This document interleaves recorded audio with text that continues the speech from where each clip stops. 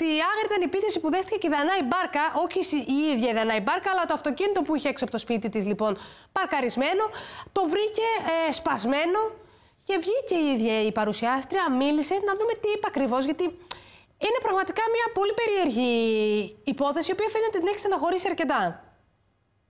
Εσύ πώς είσαι; Πώς θα πέρασες, πες μου, Σαββατοκύριακο; Λοιπόν, δεν πέρασα ωραία. Γιατί; Να τι δεν είπα και στους υπόλοιπους ανθρώπους, αλλά τους τα είπα κατηδίαν. Διότι την Παρασκευή το βράδυ μου σπάσαν το αυτοκίνητο. Δεν το πιστεύω. Για άλλη μια φορά, βέβαια, δεν ξέρω τι γίνεται. Αλλά ξέρεις τι έχω βρει εγώ τους ανθρώπους μου εκεί, ευτυχώς. Ναι. Και από ό,τι έκανα μια έρευνα, γιατί δεν το έκαναν μόνο για μένα, ρώτησα τους φίλους μου όλους από το Χαλάνδρη. Ευτυχώς στο τμήμα Χαλανδρίου όλοι οι ανθυπασπιστέ διοικητές ήταν υπέροχοι και εξαιρετικότατοι. Μου σπάσαν παιδιά το αυτοκίνητο έξω από το σπίτι μου κιόλα. Έξω από το σπίτι; Ναι, ναι, μου πήραν και κάποια πράγματα που είχα στο προπαγκάζ, όχι σημαντικά, γιατί σημαντικά πράγματα δεν αφήνουμε ποτέ στα μάξι. Ποτέ. Αλλά ήμουν πολύ ταραγμένη γιατί είχα γυρίσει και αργά. Δηλαδή πρέπει να γίνει μέσα στο, επόμενο, στο, στο τρίωρο που κοιμήθηκα. Γύρισα πολύ νωρίς και ε, αργά και κατέβηκα πολύ νωρίς.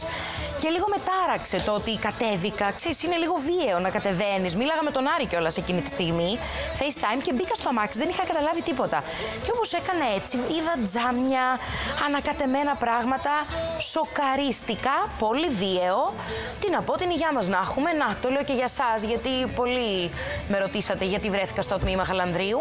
Γι' αυτό βρέθηκα τα φιλιά μου σε όλους και στην αγάπη.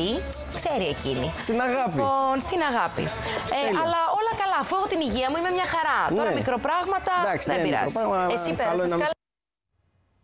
Και από ό,τι φαίνεται η εγκληματικότητα έχει χτυπήσει κόκκινο. Μία είδαμε το θέμα με την εταιρεία Uber, τώρα βλέπουμε ε, την επίθεση που δέχτηκε η Δανάη Μπάρκα.